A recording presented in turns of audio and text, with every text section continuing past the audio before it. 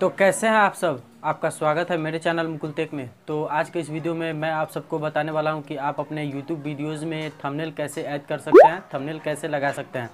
तो चलिए आज के इस वीडियो को स्टार्ट करते हैं। तो आप सबको थंबनेल लगाने के लिए सबसे पहले आप सबको एक वाईटी स्टूडियो एप्लीकेशन को आपको डाउनलोड करना होगा, जो कि आप प्ले स्टोर से जाके डाउनलोड कर सकते हैं। वैसे मैं उस एप्लीकेशन का लिंक आपको डिस्क्रिप्शन में दे दूँगा। आप जाके वहाँ से भी डाउनलोड कर सकते हैं। तो आप जैसा कि देख सकते हैं यहाँ से ये वाई स्टूडियो एप्लीकेशन है। आप इसको ओपन कर लेंगे। Y T studio application open करने के बाद आप देख सकते हैं यहाँ से लेफ़्ट साइड टॉप में एक थ्री डॉट थ्री लाइन है तो आपको उस पर प्रेस कर लेना है। प्रेस करने के बाद आप यहाँ से चले जाएँगे वीडियोज़ में।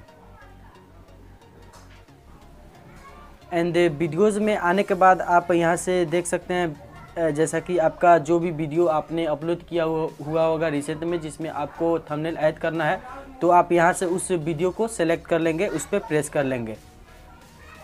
एंड प्रेस करने के बाद आप यहाँ से, जैसा कि मैंने ये थंबनेल ऐड करके रखा हुआ है बट मैं आपको बता देता हूँ कि कैसे ऐड करते हैं तो उसके लिए आप यहाँ से ये एडिट का बटन है, आपको इस पर प्रेस कर लेना है। एंड एडिट बटन पे प्रेस करने के बाद आप देख सकते हैं यहाँ से ये थंबनेल का स्पेस है जो कि इस पर आपको इडिट बटन देगा। देख सकते हैं जैसा कि पेंसिल का एक लोगो है।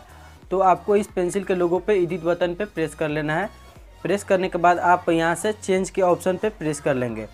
चेंज के ऑप्शन पे आप जैसे प्रेस प्रेस करेंगे तो उसके बाद आप यहाँ से लेफ़्ट साइड में थ्री लाइन का ऑप्शन आएगा तो आपको इस पर प्रेस कर लेना है। एंड यहाँ से आपको इमेज पे आ जाना है। इमेज पे आप जैसे आएँगे तो आपका जो भी फोल्डर्स होंगे आपके फ़ोन में, वो सभी फोल्डर्स यहाँ से शो करने लगेंगे। तो आप जिस फोल्डर में आपका थंबनेल होगा, बना के आपने रखा होगा, वैसे मैंने थंबनेल कैसे बनाते हैं, उसका भी वीडियो बना के रखा हुआ है यूट्यूब पे अपलोड करके रखा हुआ है।